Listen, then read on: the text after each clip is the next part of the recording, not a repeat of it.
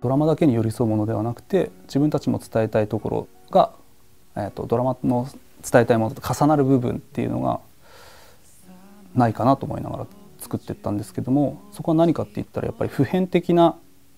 愛、まあ、医療のドラマっていうところで死生観自分に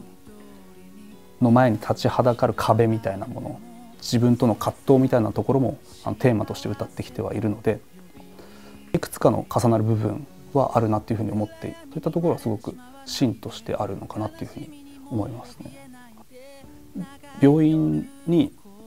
実際に僕も行かしてほしいっていうようなお願いをして見させてもらったんです。やっぱそこで感じるところはすごく今回の楽曲に影響していて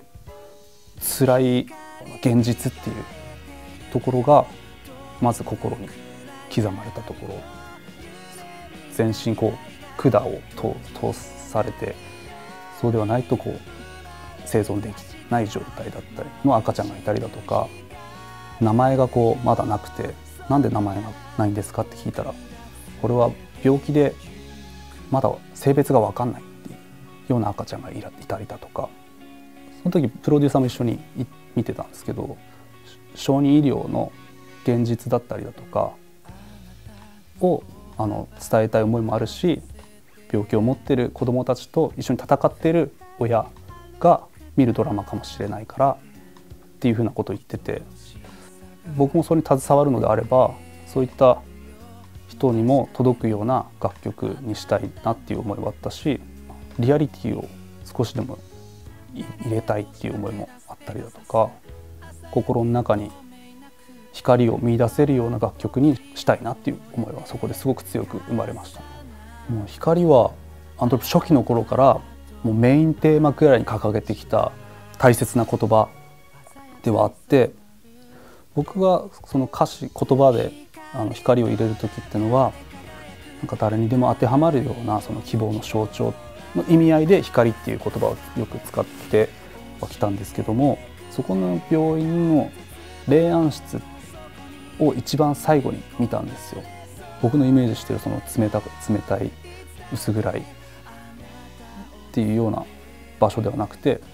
もうステンドグラスで光がバーッと入ってて青い光がこう白い床に当たっていてですごく教会のようなというか神聖な場所のようなところで暖かくて日の光が入っていてなんかそこのイメージがすごく D メロに反映されているというかそのイメージもすごく曲に表現したかったんですよね。D メロの部分は始まりと終わりがある場所でって例えばその普通に生きてるこの世の中でのことでもあるしその病院のことでもやっぱりあって僕が見に行った病院のところでは新しい命が生まれていく場所でもあるし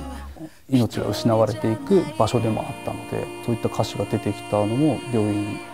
行ったから見たからなんですけども1話が7月12日オンエアだったんですけども7月9日の朝にやっとテレビサイズの曲ができて放送されてる時にはまだフルはできてなかったんで流れてる楽曲を見てもうちょっとこう柔らかく歌ったらいいなっていうふうに思っちゃったんでまたもう一回そこからやり歌い直したりだとかをしてバージョンアップしたのが流れてるんですけども、まあ、ドラマを見て楽曲を変えるっていうのも本来だったらあのありえないようなことだと思うんですけどもより良いものを作るために制作をこうどんどん後ろにスケジュールを後ろにしてまでもみんなでいいものを作ろうっていうふうに思ってやってくれてるドラマ。それをあの良しとしてくれたドラマ制作チームの熱量にはすごく感謝してるしそこまでしたからいいものができたなっていうふうに思いますね。生活の一部でこう聞こえてきた時に何かその聞いた人の心に寄り添える部分があったりだとか何か考えるきっかけになったりしたらいいなっていうふうに思うんですよね。僕も辛い時に